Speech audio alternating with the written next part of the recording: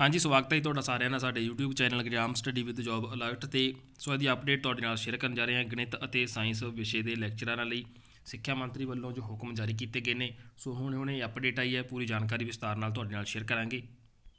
ਤਾਂ ਸਕੂਲਾਂ ਵਿੱਚ 11ਵੀਂ ਅਤੇ 12ਵੀਂ ਜਮਾਤ ਦੀ ਸਾਇੰਸ ਵਿਸ਼ੇ ਦੀ ਪੜ੍ਹਾਈ ਦੇ ਮੱਦੇਨਜ਼ਰ ਵਿਦਿਆਰਥੀਆਂ ਦੇ ਹਿੱਤ ਵਿੱਚ ਫੈਸਲਾ ਲੈਂਦੇ ਆ। ਪੰਜਾਬ ਦੇ ਸਿੱਖਿਆ ਮੰਤਰੀ ਹਰਜੋਤ ਸਿੰਘ ਬੈਂਸ ਨੇ ਸਟੇਟ ਮੁੱਖ ਦਫ਼ਤਰ, ਜ਼ਿਲ੍ਹਾ ਬਲਾਕ ਜਾਂ ਹੋਰ ਦਫ਼ਤਰਾਂ ਵਿੱਚ ਕੰਮ ਕਰਦੇ ਸਾਇੰਸ ਅਤੇ ਗਣਿਤ ਵਿਸ਼ੇ ਦੇ ਲੈਕਚਰਾਂ ਨੂੰ ਤੁਰੰਤ ਵਾਪਸ ਸਕੂਲਾਂ ਦੇ ਵਿੱਚ ਭੇਜਣ ਦੇ ਹੁਕਮ ਆ ਜਿਹੜੇ ਦੇ ਦਿੱਤੇ ਨੇ।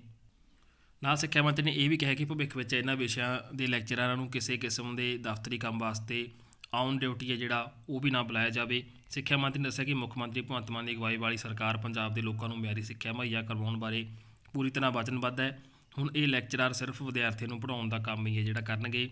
ਸੋ ਸਿੱਖਿਆ ਮੰਤਰੀ ਨੇ ਦੱਸਿਆ ਕਿ ਭਵਿੱਖ ਵਿੱਚ ਜੋ ਅਧਿਕਾਰੀ ਇਹਨਾਂ ਵਿਸ਼ਿਆਂ ਦੇ ਲੈਕਚਰਾਰਾਂ ਨੂੰ ਦਫ਼ਤਰੀ ਕੰਮਾਂ ਵਾਸਤੇ ਔਨ ਡਿਊਟੀ ਬੁਲਾਉਣਗੇ ਤਾਂ ਉਹਨਾਂ ਖਿਲਾਫ ਵੀ ਸਖਤ ਸਖਤ ਅਨੁਸ਼ਾਸਨੀ ਕਾਰਵਾਈ ਹੈ ਜਿਹੜੀ ਕੀਤੀ ਜਾਵੇਗੀ। ਤਾਂ ਬਹੁਤ ਹੀ ਚੰਗਾ ਫੈਸਲਾ ਜਿਹੜਾ ਇਹ ਸਿੱਖਿਆ ਮੰਤਰੀ ਵੱਲੋਂ ਲਿਆ ਗਿਆ, ਕਿਉਂਕਿ ਜੋ ਇੱਕ ਅਧਿਆਪਕ ਦਾ, ਇੱਕ ਲੈਕਚਰਰ ਦਾ ਕੰਮ ਹੁੰਦਾ ਹੈ, ਉਸ ਤੋਂ ਉਹੀ ਕੰਮ ਹੈ ਜਿਹੜਾ ਕਰਵਾਉਣਾ ਚਾਹੀਦਾ ਹੈ। ਸੋ ਇਹਨਾਂ ਦਾ ਕੰਮ ਹੁੰਦਾ ਹੈ ਪੜਾਉਣਾ ਬਾਕੀ ਆਪਾਂ ਦੇਖਦੇ ਆ ਰਹੇ ਹਾਂ ਕਿੰਨੇ ਅਧਿਆਪਕ ਨੇ ਜਿਹੜੇ ਕਿਸੇ ਦੀ ਕਿਤੇ ਡਿਊਟੀ ਲਗਾਈ ਜਾਂਦੀ ਹੈ, ਕਿਸੇ ਦੀ ਕਿਤੇ, ਜਿਸ ਕਰਕੇ ਵਿਦਿਆਰਥੀ ਪੜ੍ਹਾਈ ਤੋਂ ਵਾਂਝੇ ਜਿਹੜੇ ਰਹਿ ਜਾਂਦੇ ਆ।